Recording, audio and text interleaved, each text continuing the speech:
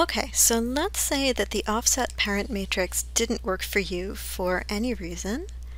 I'm going to go ahead and take this whole thing that I built and delete it and close this. Instead, I'm going to go into my constraint menu and open up my parent constraint option box. The parent constraint is great because while it maintains an offset, it will leave two objects apart and let them control each other.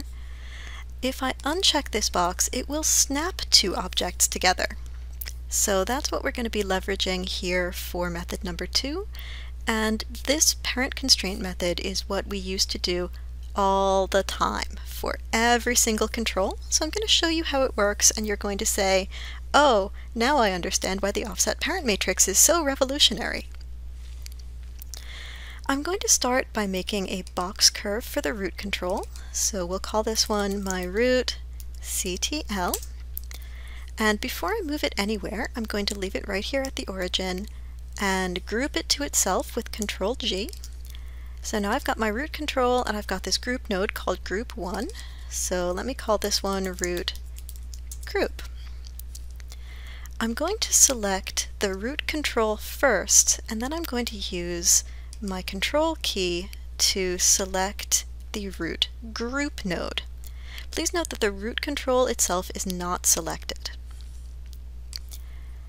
Here's my parent constraint. Uh, by the way, if you're having trouble finding the constraint menu, make sure that your rigging menu is set over here in menu sets. You may still be set to modeling. That's okay, just move over to rigging, constrain, parent, option box. So I've got maintain offset unchecked. I'm going to hit apply and you'll see that that will automatically snap the box up to the root joint. However, it didn't actually snap the box up to the root joint. The box, this root control curve, still thinks it's at the origin. The thing that moved is this group node, the group node has this constraint in it. I'm not going to use this constraint. This is just something that I leveraged to snap my box up to the joint. So I can take the constraint node and delete it. Now I'm going to repeat that process for the rest of the controls. So here's my spine lower control. We'll call this one spine low CTL. I will group it to itself and I'll call this one spine low group. I'll take the spine low joint, the spine low group, and apply my parent constraint. Now I can delete that constraint. And I'm going to take this group node, this spine low group, and make it the child of the root control curve. So you'll see my hierarchy is going to go group node curve, group node curve, and again, we'll just repeat this process. So this will be spine, let's rename you, spine mid control. I will group it to itself. This group will become my spine mid group. And now I'm going to take the spine mid joint, the spine mid group, and parent constraint then delete the parent constraint and make the group node the child of the spine low control. Okay, one more. Let's make another circle. This one is going to be spine high CTL. We'll nest it inside a group node. This will become my spine high group going to select my joint first, my group node second, apply, delete the constraint, and make the group node the child of the previous curve. Okay, last one in the spine. This will become the neck control, and I will nest it inside a neck group. So now I'm going to click the neck joint and oops, not the neck control, the neck group node, parent constraint, delete the constraint, neck group becomes the child of the spine high control. So that takes care of my spine And before I do the arm, I'm just going to take a moment to look at these curves. Right now, the curve has an orientation that exactly matches that of the joint. So when I click onto the joint and I click onto the control curve, the pivot point is in the exact same place, which does make it a little bit easier for me to edit this. I can just rotate it to a place that I think is going to be nice. Let's turn my character geometry on. Maybe right there is good. Maybe I'll scale it in a little bit. Um, that will put information here in the channel box, but when I freeze transformations, the pivot point will reset so that it matches the joint again. So because I've got all of these group nodes, I am free to reset my curves. Um, but I still also have the option of working with their control vertices. I just need to be sure that I am not going to select my skeleton or my geometry by accident. So if you like working with control vertices, that is totally an option. And since we've gone through the work of making everybody the parent of the next joint down, this might actually be a good method. So we'll pull that up. Now as you can see this does take a little bit longer than the previous method so I'm not going to get through the whole thing in one video. What I'm going to do instead is just pause this so that I can make the left arm and when I've got that in place I will come back to you and talk about the right arm. So just assume that it's going to be a curve and a group node for every joint in the upper body. And I'm going to do that and come right back to you. Okay, so I used my control vertex editing to adjust all of these curves. And I also made a set of new curves and group nodes for the arm.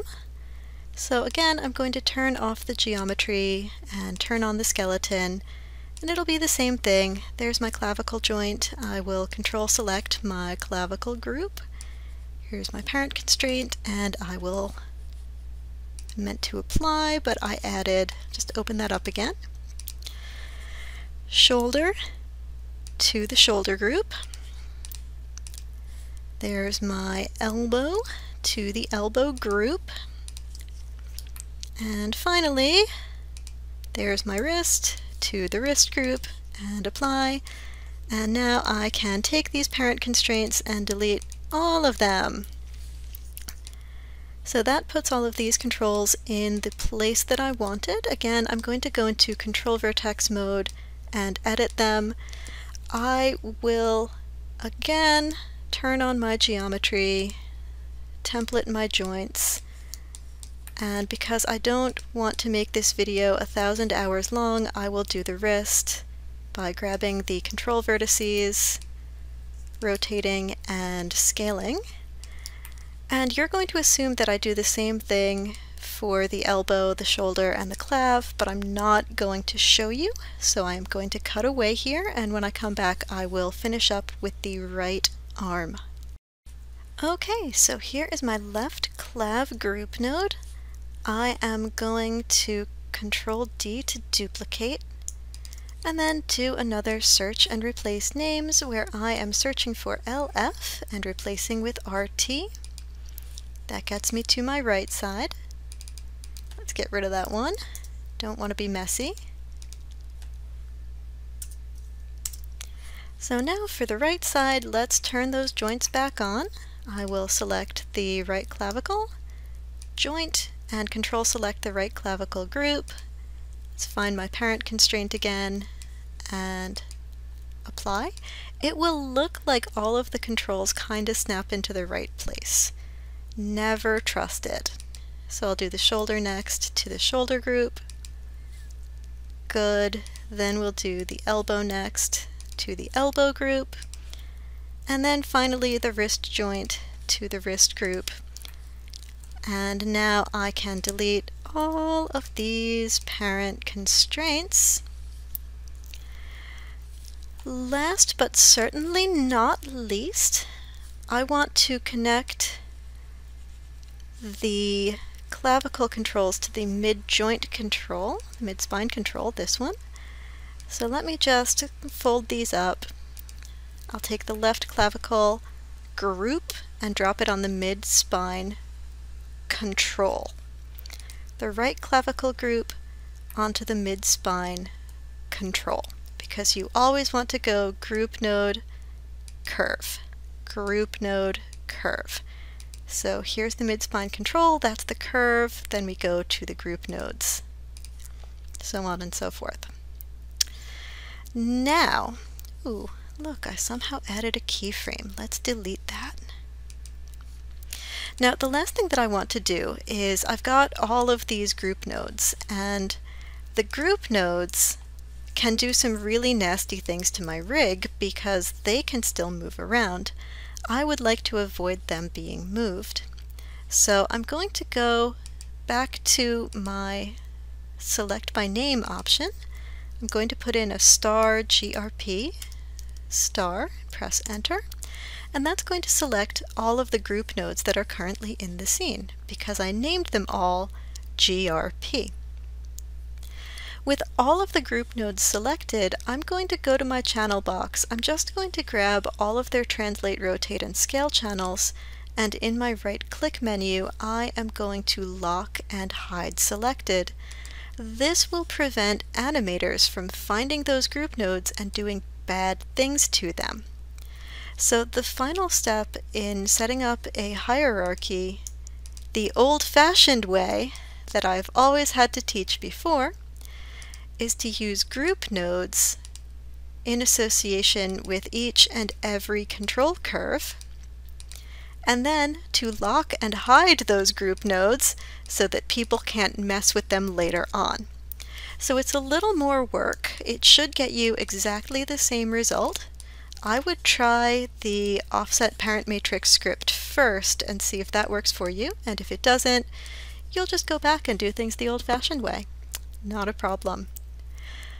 Okay, in the next video we're going to start with having these controls that we've made control the joints. We're almost there. We are so close and it is going to be so exciting. See you soon.